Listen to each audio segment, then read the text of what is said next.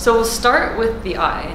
Um, the eye began as the theme People Watching People, which makes sense. We just made one giant eye and we were going to do two at the beginning, but then we thought as they uh, laid out, it just made more sense to just make one big one.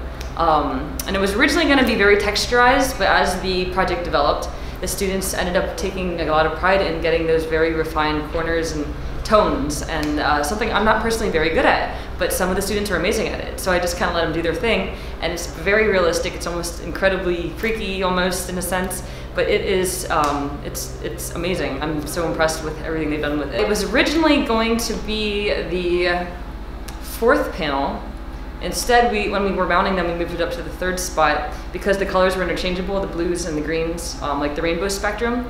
So the purples into the blues, greens, and the two panels could be exchanged. So we put it right in the center rather than having it at the other position. So it is at a new spot. There's intention behind it. It's not an accident. It's on purpose.